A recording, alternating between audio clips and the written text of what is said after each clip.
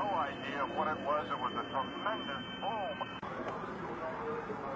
Oh my God, don't be a person. Where? Oh my God. Where? That right there? What are those big heavy things falling at a rate that a piece of paper would not fall? Oh my God! We've seen rage and violence directed at American embassies over an awful internet video. She lied to me.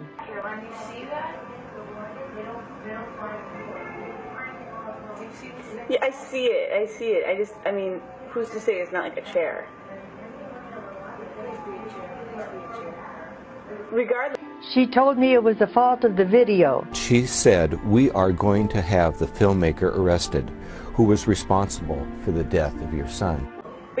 Oh,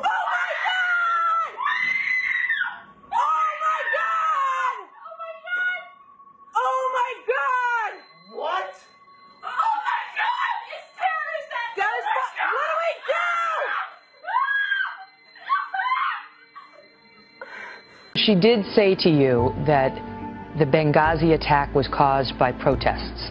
Absolutely. Well, I don't know why that's funny.